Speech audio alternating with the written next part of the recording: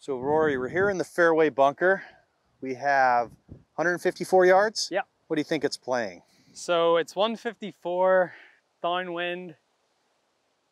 It's probably playing like 145.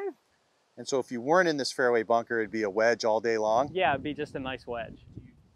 So in a fairway bunker, what's your first process? It's one. It's a 145 shot. 145 shot. Um, I always think like a fairway bunker shot never goes quite as long as a, a shot off the fairway.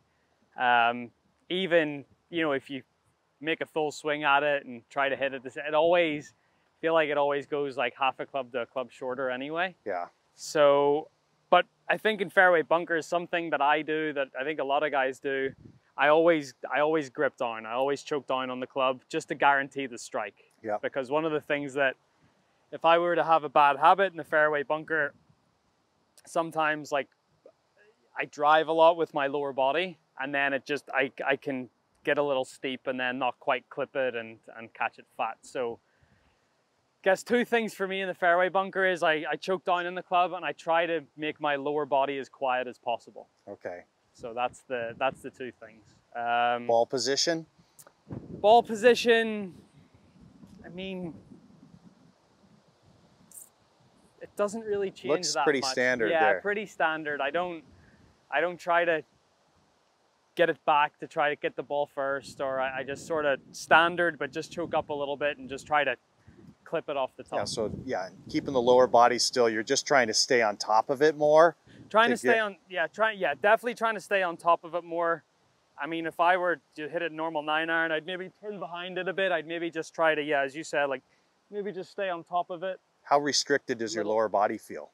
it feels a little bit i mean i i my lower body is quite restricted on the way back anyway i don't really i get into my right hip a little bit but not that much but it's almost it's on the way it's on the way through you know it's i'm not gonna really like open up and drive i'm gonna just try to play it a little more flat-footed How about uh, follow through? Do you adjust that? Do you shorten it a little? So I, sh- I do, but I think it has to be shorter because the lower body isn't letting your upper body fully, fully Yeah, release. and you're using more finish. club. Yes. Would And- you? I mean, it, you would always take more club out of a fairway bunker. Yeah, always, Yeah. always. It just, you know, you can swing a little smoother at it to guarantee the strike. Yeah. I, the one thing I hit in a fairway bunker is trying to hit it hard, because then you could lose your footing, or you could, and it just, it just, there's too much risk involved with trying to hit it hard out of a fairway bunker. I'll always try to take one more club and just hit it smooth. Cool. Let's give it a shot. All right.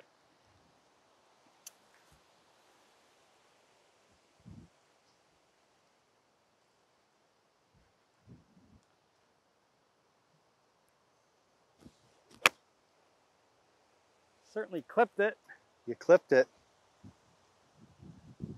Actually, turned out okay. Did okay. Try another one. You're talking a lot, so restricted lower body, choke up, smooth. Smooth.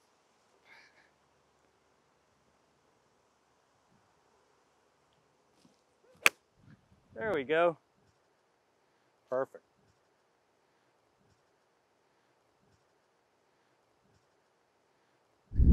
So Rory, we're in the front of this bunker. There's not a huge lip, but a little bit of a lip. Yep. You got an upslope, so you got a few factors here. You got 100 and you know 50 yards, probably playing 140, 142. Yeah.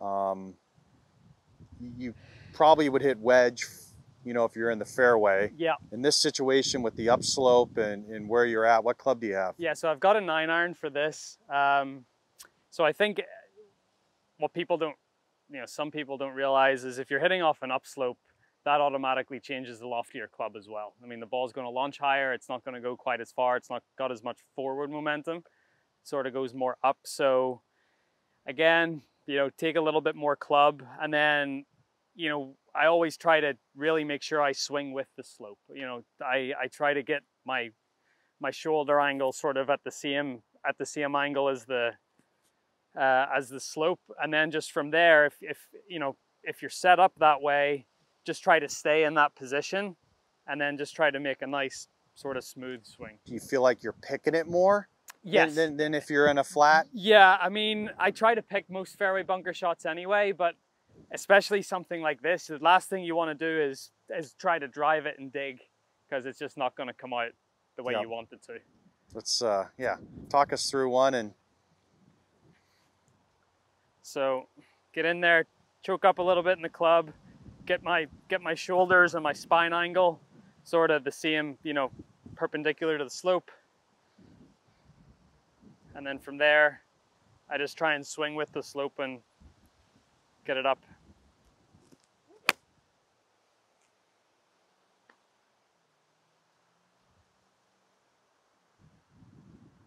nice. And that's actually the like off an upslope, the ball wants to go left. You know so that's always something to think about as well maybe from an upslope maybe aim just a touch right because that's Why do you the, think that is? Do you think it's because it's it's farther up in your stance, maybe? yeah you're sort of catching it maybe a little later in the arc Yeah. um, and i think as well the more that you're the more that you're on your right side the, the, the shallower you're going to want to take it away and, and that sort of gets the club going inside a little bit and then it's sort of you know it's a it, the shallower you are the more it's going to be attacked from the inside as well so you're always going to Let's say you're in this bunker in this situation and you're you know you're 210 yards out. Yeah. How do you kind of judge what club you can get out of it? Yeah, it's um, you know, I'll always just I'll just go into the bunker with the the least amount of loft I think I can get over it, and I'll stand over it, and I'll look, and I'll I'll sort of just feel it, and if it's just if it's borderline, and I'm like I think I can, but I you know I'll just I'll go and just take. So if I if it's a two ten and I get in there with a five iron, and I'm like yeah I don't know, I'll always just go and hit the six. If it's borderline, will you, will you ever open the face up to help yourself a little bit? Yeah, in some situations, yes. But then I feel like if you open the face up, you, you're basically you're taking distance off it anyway. So, you know, I'd rather just go and take one less club and and, Yeah. and hit it square and, and and swing, you know, fully committed at that. And you know, fully accepting that if it comes up shorter at the front edge of the green, that's fine. Yeah. So